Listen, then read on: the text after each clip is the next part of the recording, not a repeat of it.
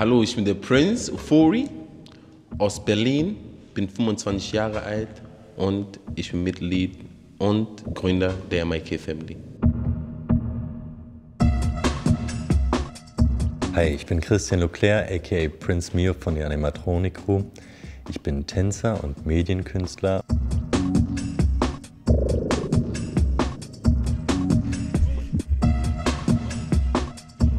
An Street Dance liebe ich eigentlich am meisten wirklich die Community. Also man ist wirklich eine Riesenfamilie, man lernt voneinander, man passt aufeinander auf.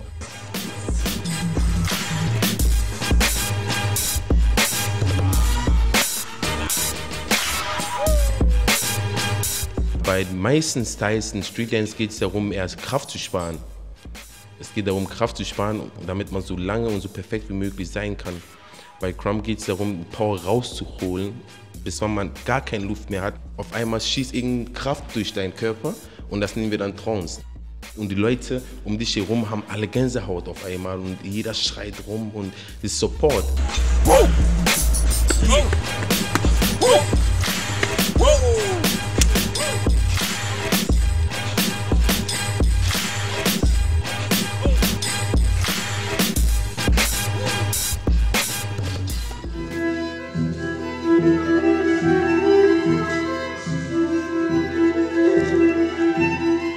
Was ich daran liebe, ist eigentlich, dass es mir die Möglichkeit gibt, komplett neue Figuren zu erschaffen, ein, zum Roboter zu werden, mich wie ein Roboter zu fühlen.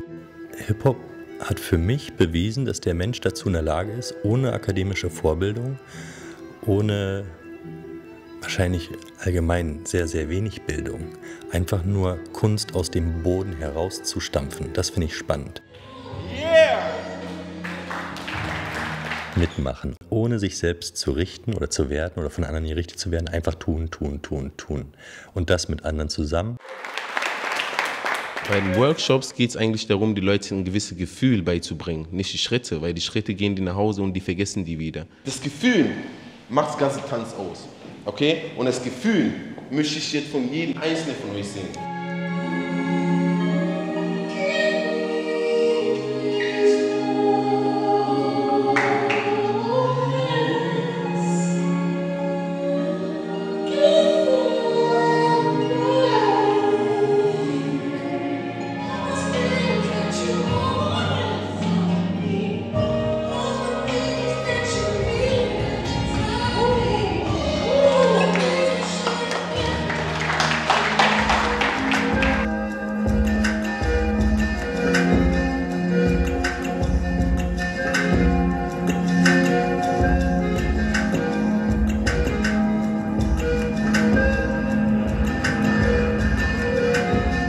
Also ich baue ähm, Computerprogramme, die mit einer Kamera funktionieren. Durch diese Kamera wird dieses Programm gespeist, sie guckt sich das Bild an und analysiert, wie und wo ich mich bewege. Ich ähm, suche mir eigentlich somit Möglichkeiten, wie ich in, an der Schnittstelle zwischen dem Körper, der tanzt, und dem, der Maschine ähm, irgendwie Überlappung finde.